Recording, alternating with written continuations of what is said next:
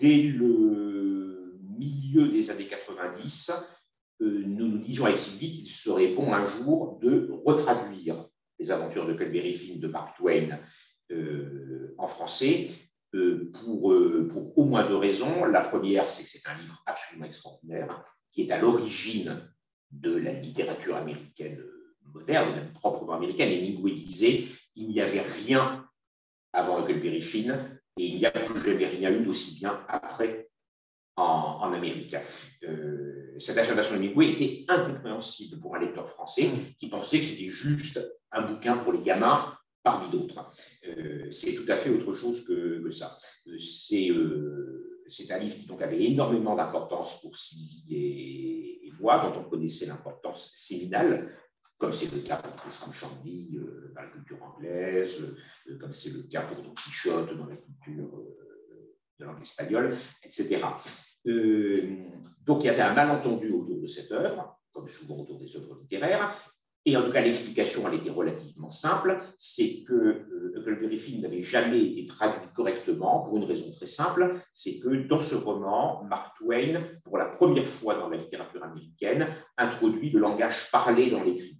Son héros est un gamin euh, de 10 années et des poussières, euh, qui vit dans les rues du village, qui n'a jamais mis les pieds à l'école, qui est un jeune vagabond et qui parle comme parle dans un patelin américain euh, au XIXe siècle, un gosse qui n'est jamais allé en classe, c'est-à-dire qu'il parle très, très, très, très mal. Il parle une langue qui est la sienne, qui est extrêmement expressive, qui est extrêmement savoureuse, qui est merveilleuse, mais qui est, comme pour Arnaud Schmitt, une langue qui est, qui est la sienne, qui n'est pas la langue de quelqu'un d'autre, et qui est en tout cas le contraire d'une langue académique.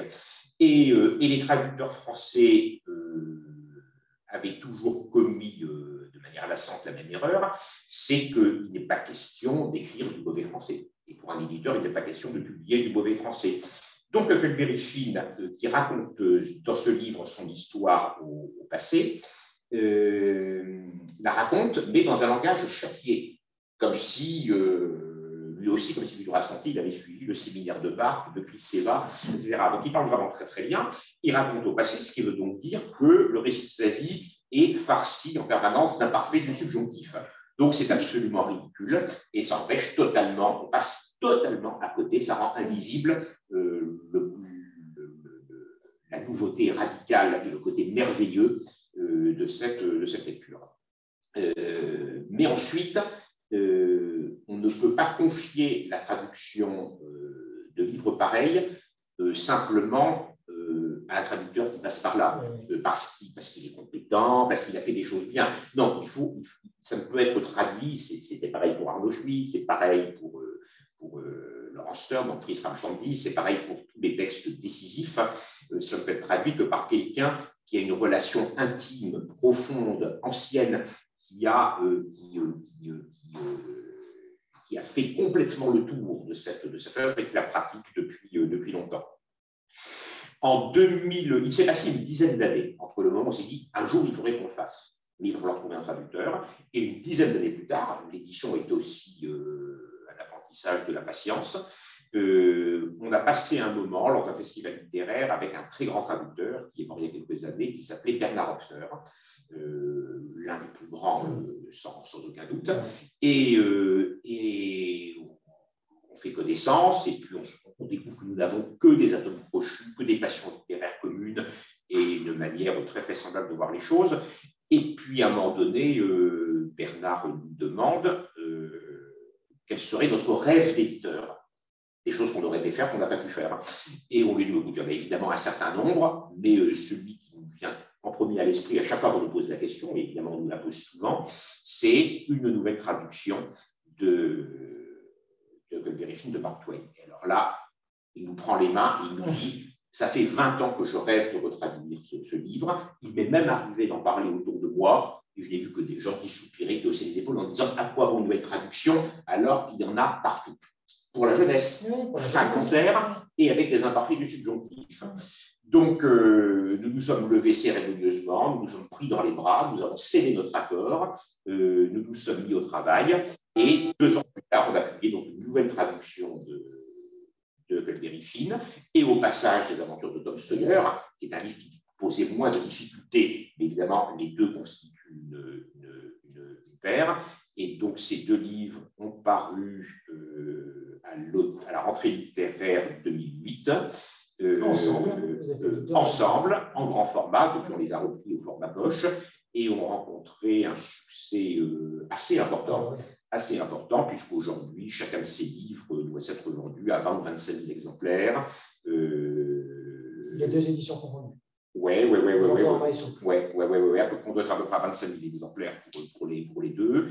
Et, et, euh, satisfaction particulière, aujourd'hui, dans des manuels scolaires, euh, ce sont des extraits de cette traduction euh, qui, sont, qui, sont, qui sont choisis. Donc, ça veut dire que les, jeunes gens, les gamins, les petits garçons et les petites filles qui vont, euh, comme c'était le cas pour nous, découvrir que la littérature, ça peut être pas du tout ennuyeux, euh, que ça peut même susciter euh, voilà, des, décisions importantes pour sa vie future. Ça a été le cas pour moi en lisant Huckleberry Finn et Tom Sawyer, un peu comme Patty Smith. Enfin, voilà, c'est des choses qui ont été euh, on retrouve dans le catalogue les choses qui font qu'on est devenu ce que nous, ce que nous sommes. Voilà, c'est, ce sont deux miroirs qui se, qui se face, la vie et le, et le, et le, travail.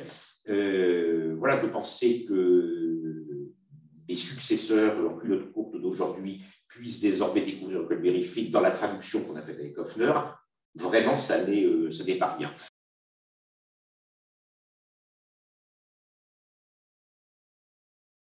Alors, c'est très simple.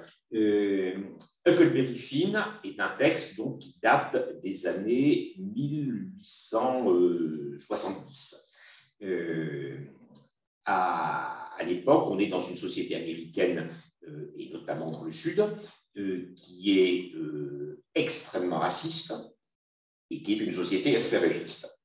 Le mot qui est employé pour désigner les Noirs, c'est-à-dire les esclaves, c'est le bonheur. C'est le mot qu'on emploie, qu'ils emploient entre eux et que leur maître et propriétaire blanc euh, emploient.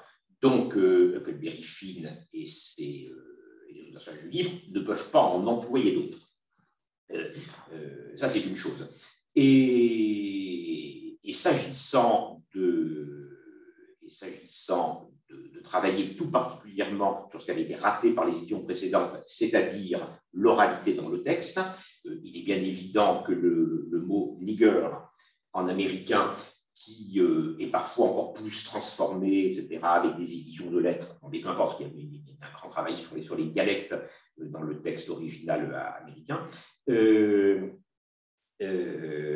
le mot nigger doit apparaître environ 200 fois dans le texte américain, et donc il apparaît le mot nègre apparaît en français également à peu près, euh, à peu près 200 fois. À aucun moment euh, n'aurions imaginé avec Bernard Hoffner de traduire autrement, de faire une périphrase. Euh, parce que si on supprime le mot nègre, on peut aussi supprimer le fait que les gens soient noirs. On peut aussi supprimer l'esclavage. en fait, on peut supprimer le roman. On, peut supprimer, le, autant le supprimer purement et simplement, parce qu'à force de tout couper, le, seul truc qui n'est pas scandaleux dans ce livre, au fond, c'est le nom Mark Twain sur la couverture, et encore, puisque finalement, voilà. Euh, donc non, euh, ce qui est extraordinaire, euh, et, la question très intéressante que, me pose cette, personne, c'est qu'il il y a des personnes, des groupes isolés aux États-Unis aujourd'hui qui croit bon euh, de censurer le Calvérifine à cause de la présence de ce, mot. Donc, il est retiré du rayon de certaines bibliothèques, il est retiré de certains euh, programmes euh, scolaires, au nom de l'antiracisme. Alors, ce que nos auditeurs doivent, doivent savoir, c'est que déjà du vivant de Twain, les auteurs de Huckleberry Finn ont été censurés et interdites pour des raisons strictement inverses parce que euh, les gens de l'époque avaient compris que ce livre euh, était antiraciste, était anti-esclavagiste, et évidemment, ça menaçait des intérêts, et, euh, les gens qui savent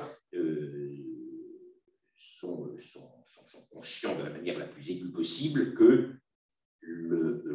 l'acte de naissance de l'antiracisme dans la littérature américaine. C'est un moment extrêmement précis dans Huckleberry Finn, qui a pris la fuite sur un radeau sur le Mississippi avec un esclave en fuite, qui est donc noir, qui est l'un de ces nègres nommés dans le, livre, euh, et ne pas dénoncer un esclave en fuite, là, euh, le châtiment, c'est qu'on va retirer en enfer. Donc, euh, l'intérêt personnel de Huckleberry Finn et de tout le monde à l'époque, ça serait de dénoncer cet en fuite pour qu'il soit restitué à son mmh. propriétaire. Sauf que pendant leur équipée sur le Mississippi, transperçant tous les préjugés, Huckleberry Finn comprend que Jim est pour lui un frère, est un semblable, est un égal, et que donc il ne peut pas le dénoncer. Et donc, euh, il doit faire ce choix entre sauver son âme ou sauver Jim, et il décide de sauver Jim en ne le dénonçant pas. Bon, euh, donc passage tout à fait extraordinaire. Euh, c'est la première fois dans la littérature américaine, et puis ensuite, progressivement, les choses ont, changé. Donc c'est pour ça qu'à l'époque, ce livre était dans le collimateur des censeurs, et donc il est tout à fait extraordinaire et, et sinistre qu'aujourd'hui, il soit dans le collimateur d'une nouvelle génération de censeurs pour des raisons strictement inverses. Euh, donc évidemment, cette, ce type d'attaque, de, censure ou de mise en garde ne peut revenir que de gens, euh, non pas qui n'aiment pas la littérature, mais qui la détestent, car ils savent qu'elle est constamment l'endroit où de nouveaux progrès vont se, vont se produire. Donc, euh, donc la littérature, au fil du temps, affronte toujours des obscurantismes qui prennent, qui prennent des physionomies euh, différentes. Je précise, pour qu'il n'y ait aucun malentendu, c'est que si il ne pouvait pas être question de supprimer le mot nigger, donc nègre, euh, de, cette, de, cette, de cette traduction, ma réponse serait très différente par rapport à un manuscrit qui, aujourd'hui, utiliserait un lexique inquiétant, douteux, etc. Je ne veux pas dire que ça serait impossible, car si quelqu'un aujourd'hui nous propose un manuscrit dans lequel euh, il y a un personnage de raciste, euh, voilà, c'est euh, c'est le même débat que les bienveillantes de Jonathan Little. donc il faut faire très attention. Mais dans le cas de, de Twain de Colberry Finn, évidemment, en réalité, il n'y a pas de débat.